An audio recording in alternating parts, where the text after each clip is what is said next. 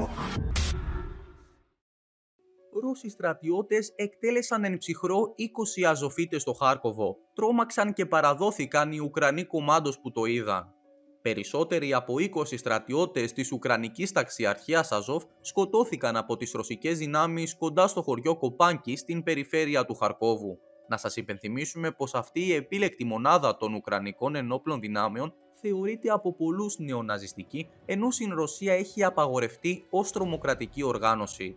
Την Πέμπτη, το Ρωσικό Υπουργείο Άμυνας ανακοίνωσε την κατάληψη του Ουκρανικού χωριού Κοπάνκι στην περιφέρεια του Χαρκόβου. Το εν λόγω χωριό βρίσκεται κοντά στο Κουπιάνς, το οποίο στοχεύουν οι Ρώσοι εδώ και αρκετούς μήνες. Κατά τη διάρκεια της προέλασης των στρατευμάτων μας, ένα ισχυρό πλήγμα έλαβε χώρα έναντι μιας πλευράς της Ουκρανικής ομάδας που βρίσκονταν στην περιοχή του οικισμού Κοπάνκι.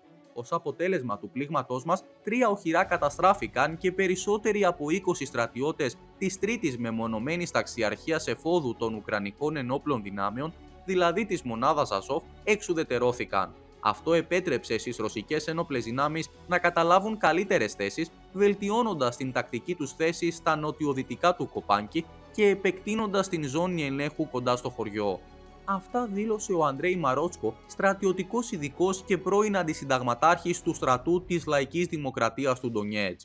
Νωρίτερα, ο Μαρότσκο είχε αποκαλύψει πως η διοίκηση των Ουκρανικών ενόπλων δυνάμεων είχε στείλει ομάδες εφόδου της μονάδας Αζόφ στον τομέα Σβάτοφσκο Κρεμένσκο του μετόπου. Ο λόγος ήταν πως η κατάσταση σε αυτή την περιοχή είχε χειροτερέψει σημαντικά για τα Ουκρανικά στρατεύματα, οπότε οι Αζοφίτες στάλθηκαν για να βοηθήσουν τους εξουθενωμένους Ουκρανούς στρατιώτες. Τελικά ούτε αυτοί είχαν καλή κατάληξη. Σε άλλη πρόσφατη είδηση από το Χάρκοβο τώρα, τέσσερις αλεξιτοτιστές από την 77η αερομεταφερόμενη ταξιαρχία των Ουκρανικών Ειδικών Δυνάμεων οι οποίοι κρατούσαν ένα πολυβολείο στην κατεύθυνση του Χαρκόβου και συγκεκριμένα στο χωριό Κοπάνκι, άφησαν κάτω τα όπλα τους και παραδόθηκαν στους Ρώσους. Οι Ουκρανοί κομμάντος παραδόθηκαν σε ομάδες εφόδου της πρώτης στρατιάς αρμάτων μάχης της ομάδας δυνάμεων Δύση των ρωσικών ενόπλων δυνάμεων. Αυτό ήταν το βίντεο. Αν σας άρεσε μπορείτε να κάνετε εγγραφή στο κανάλι για να λαμβάνετε ειδοποίηση για κάθε νέο. Μην ξεχνάτε να μας κάνετε σχόλια με την άποψή σας.